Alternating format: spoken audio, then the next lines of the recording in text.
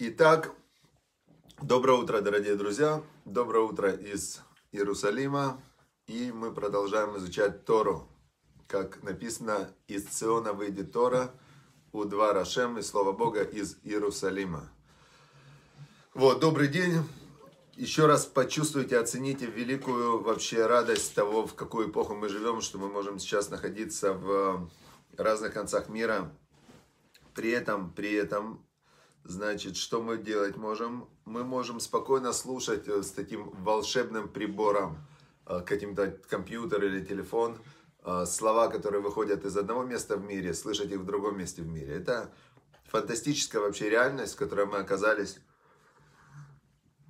В моем детстве даже в фильмах такого не могли представить. Я помню, был фильм «Алиса в стране чудес», и даже они не могли представить, вот когда показывали будущее – что так оно будет. Даже они так показать не могли. Со всеми их там спецэффектами они не могли представить, каким будет ближайшее будущее. Прошло всего там 20-25 лет. Так что дай Бог, чтобы мы увидели, что будет через 25 лет. И, наверное, будут, конечно, чудеса такие. Я думаю, что третий храм это как такая, как голограмма спустится с неба и потом материализуется где-то так. Хорошо. Значит, а мы продолжаем изучать э, то, от чего зависит э, появление третьего храма, то, от чего зависит вся жизнь человека. Больше всего жизнь человека зависит от того, что и как он говорит. То есть своими словами, своими мыслями, своими решениями, своими э, описаниями, интерпретациями, э, историями. Э, например, когда человек говорит, я мечтаю о чем-то, моя цель это, э, я думаю так – своими словами каждый строит свой мир.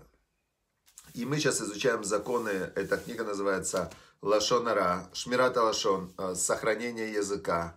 Эта книга называется «Сохранение языка». Было, бы очень смешно, если бы кто-то сейчас э, зашел случайно в этот момент. И чем они занимаются? Да, язык сохраняют. Ну, то есть, если так это услышать, можно же понять совсем по-другому. Вот. Шмират Алашон – это как сохранять язык. Э, свой от э, зла. Шумер пиво лошано, шумер мецарот навшо. Как говорил царь Соломон, что тот, кто сохраняет свой род и свой язык, сохраняет от царот, от страданий, от неприятностей свою душу. Все, и мы изучаем, как это делать. Значит, Хафецхайм, э, он, мы пока находимся только в предисловии, и он нам говорит в этой части предисловия так. Он говорит, как я эту книгу составил.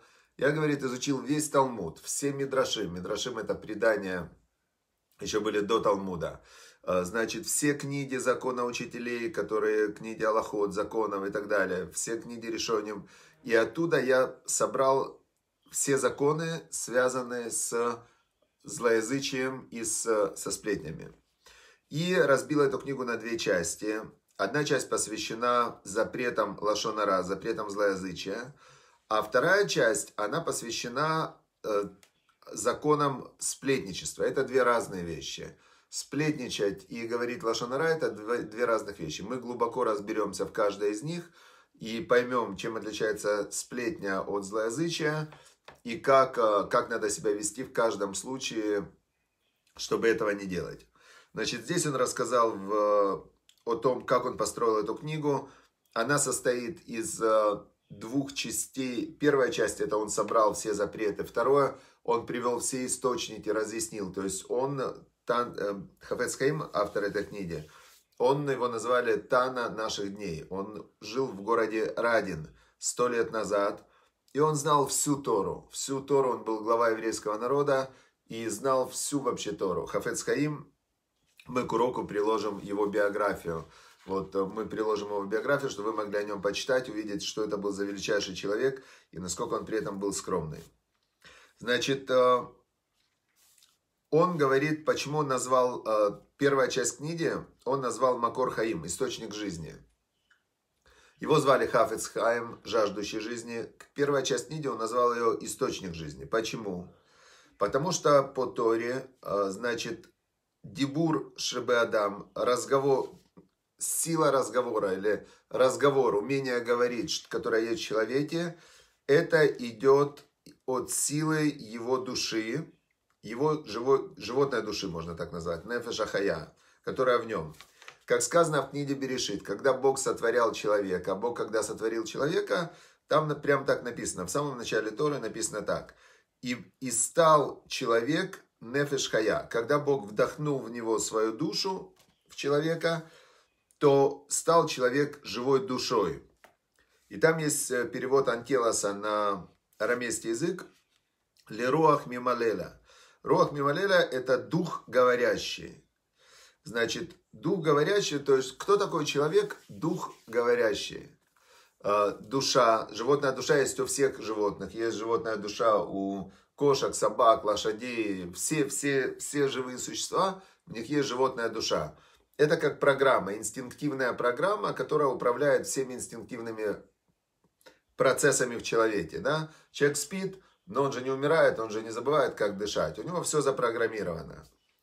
А в какой момент человек становится человеком и несет ответственность за себя? В момент, когда он начинает говорить. Это уже человек. В этом отличие. И поэтому главное, за что человека судят, судят это, за что он несет ответ, когда приходит в грядущий мир, это за то, что он жизненно говорил. Есть в Талмуде такое выражение, что даже сиха калак бен ишвы что, даже легкий разговор между мужем и женой, ему потом на небе предъявят. Все предъявят, представляете? Значит, э, говорит дальше Хафецхайм, он говорит нам следующую вещь. Что насколько, насколько он говорит э, важная, важная, значит, э, эта часть Торы, что Всевышний, даже Всевышний, он так сказал, что если человек очень осознанно относится, это написано в Мидраш, в Мидраш Раба, да, в Мидраш Раба, значит, там есть, э, это очень древние книги, написано так там, что если человек очень, э, игата, значит, э, если он осознанно работает над своей речью, то Всевышний в награду убирает от него Ецарара, убирает от него э, его животное начало, злое начало. То есть здесь надо понять, кто не знает, как работает человек, должен понять, что есть у человека два как бы внутри, два начала. Одно называется доброе начало, другое злое начало. Доброе начало, оно связано с душой человека и со Всевышним. То есть есть Бог, Создатель мироздания, добро, любовь, Он хочет только добро, и Он дал это добро. Но Он дал это добро в такой очень, очень крутой форме. В форме такой, что человеку Он дал возможность заработать это добро, чтобы человеку приятно было. Каждый может вспомнить, какие деньги вам больше приятны. Те, которые вы заработали, или которые вам дали в виде э, так просто. На тебе, мол, ну, ты же несчастный, на тебе. Понятное дело, что человеку приятнее намного, когда он заработал своим трудом, и он собой восхищается, и люди им восхищаются, он победил, особенно если это какая-нибудь победа на Олимпиаде, им все, весь мир восхищается. Смотри какой, он работал, трудился и победил. Герой или человек, который, э, не дай бог, там у него какие-то, как Ник Вучич, например, да, весь мир восхищается. Ник Вучич, у него нет рук, нет ног, а он работал, учился, он э, прямо написал четыре книги, не сломался, не сдался, женился, четверо детей. Понятное дело, весь мир восхищается. То есть он, настолько он работал, настолько этому тяжело далось, что он просто счастлив, да. Теперь а, Злое начало – это животное начало в человеке, которое просто животное внутреннее. Оно его, это животное начало, что оно говорит? Оно ничего не говорит, это инстинкты.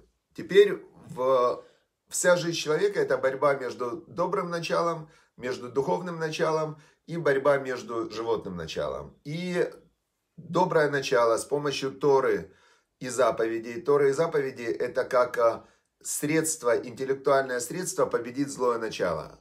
Теперь идет вот эта вот борьба. Так сказал, в этом Мидраше написано, теперь нам понятна эта фраза. Тот, кто внимательно, осознанно следит за своей речью, что это значит? Слава Богу, Бог поможет там, и так далее. То есть он не хочет нигде не обмануть, не сказать злословия, не сплетни, ничего. Тот, кто внимательно, осознанно следит за своей речью, написано, что Бог от того убирает э, Ецарара, вот это животное начало. Конечно, это даже можно проследить за собой, что когда ты начинаешь осознавать свою речь, то ты начинаешь управлять собой, своим телом. Понятно, да?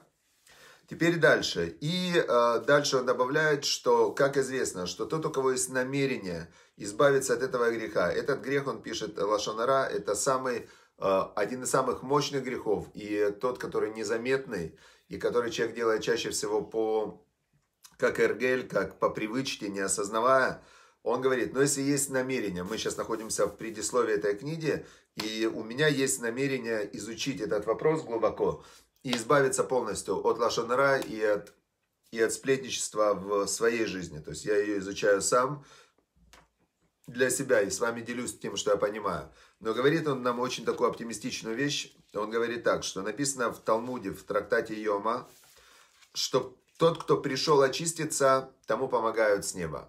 То есть, есть, э, хотя есть в этом мире свобода выбора, но Всевышний, он говорит так, что если ты хочешь, если у тебя есть намерение очиститься, тебе с неба помогут.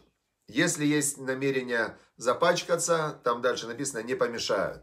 То есть это, это свобода выбора, это честно, то есть выбирай. Но если ты уже намерение хотя бы вот проявил, сидишь, уроки, повторяешь, делишься, то есть если ты вкладываешь и искренне хочешь приблизиться ко Всевышнему, то нам помогут.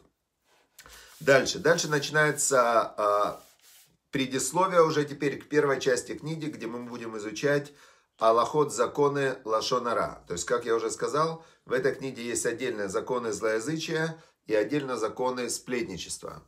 Мы сейчас будем изучать в законы в начале злоязычия, и здесь э, говорит нам, сейчас у нас предисловие к законам Лашонара. Значит, э, Всевышний очень любит э, всех людей и любит народ Израиля, и, значит, он э, Всевышний дал Тору, дал Тору для чего? Для того, чтобы... Это как инструмент. Тора это инструмент, да? Какой инструмент? Для того, чтобы приблизиться ко Всевышнему. Э, как мы можем приблизиться, если мы не знаем о Всевышнем? Так вот, Тора это знание, мы узнаем о Боге. Теперь дальше. Поэтому сказал он нам очень отдаляться от всех плохих качеств, от любого зла и особенно от э, лашонара, от злоязычия и от сплетничества.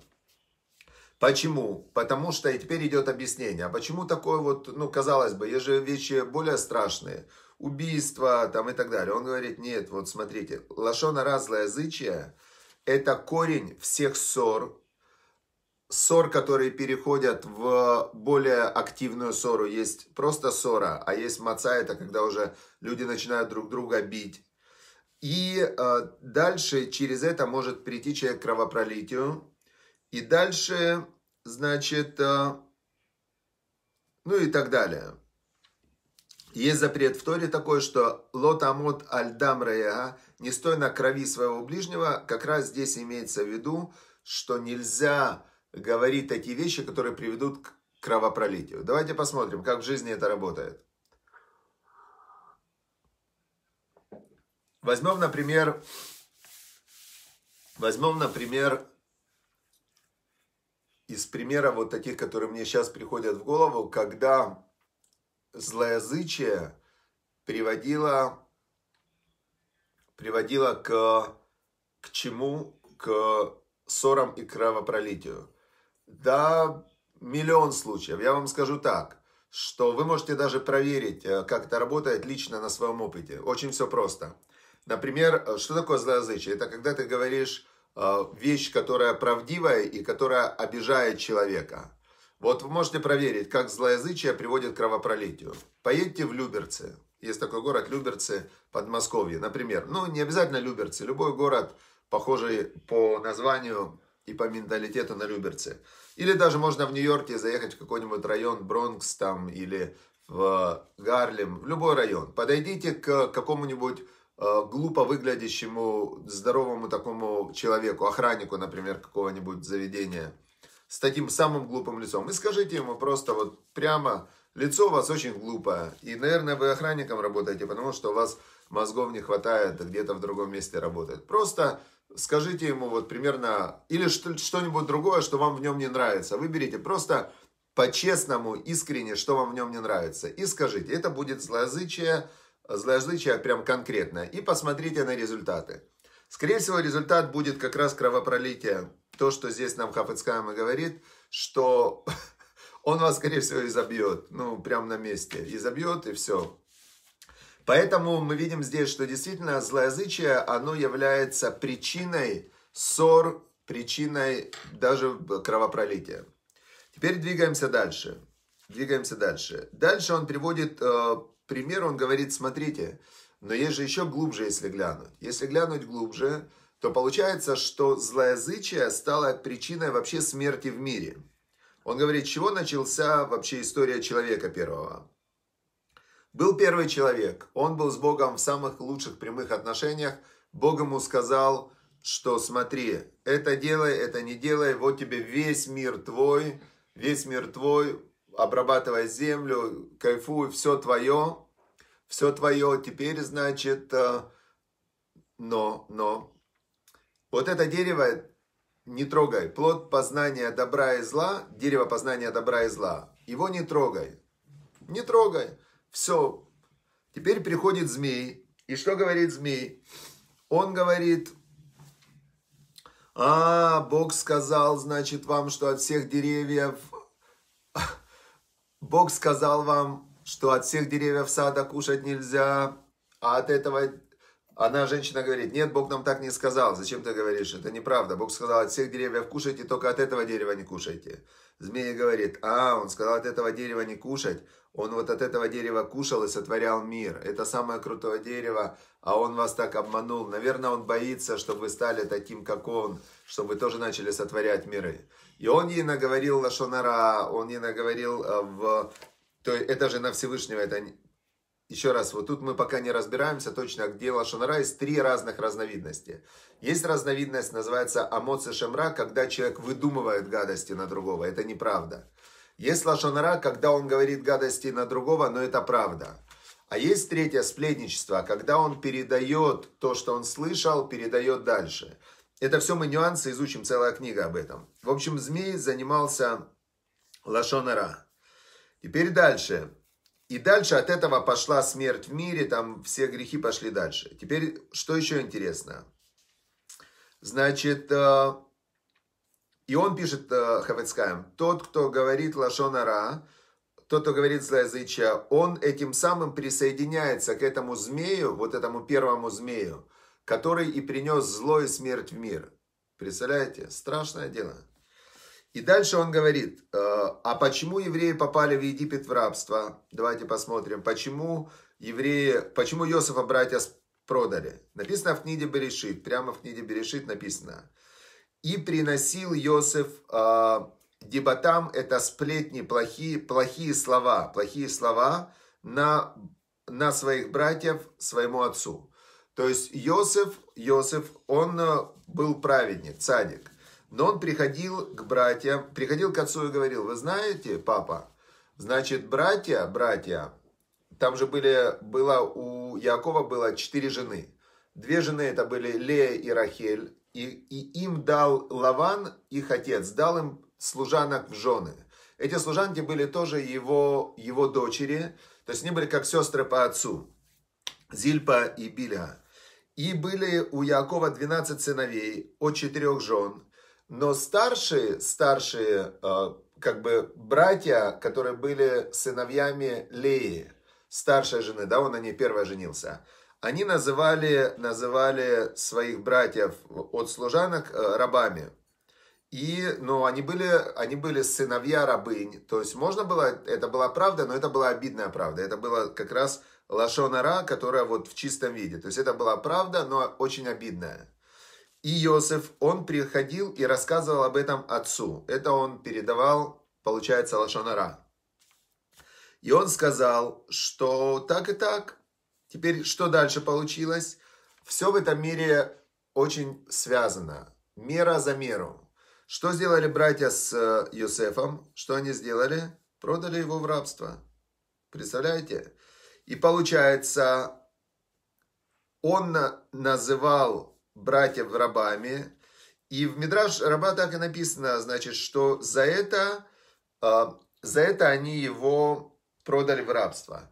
И там интересная вещь написана. То есть по закону он мог отцу это рассказать в воспитательных целях. он хотел как лучше, он хотел, чтобы отец на них повлиял, чтобы он их исправил. Написано в Мидраш Раба, не помог ему никакое разрешение. То есть он сделал, знаете как, есть в Талмуде очень интересная история, которая показывает, как, как вообще вся система работает. Значит, был такой э, Раби Иуда, Раби Иуда, и у него стисло 400 кувшинов вина. Значит, стисло у него 400 кувшинов вина, и сказали ему мудрецы, и фашфеш марба маасав, значит, пускай господин наш, он был их учитель, проверит свои дела. Он им говорит, вы что, думаете, что я что-то мог сделать, э, согрешить, сделать что-то противозаконное против Всевышнего? Они говорят, а ты что думаешь, Всевышний просто так будет делать э, наказание без причины? Он э, думал, думал, думал, говорит, я ничего не могу найти, что я сделал неправильно. Нет у меня греха, я не знаю, где я согрешил, не знаю. Ничего не могу найти. Если вы знаете, скажите.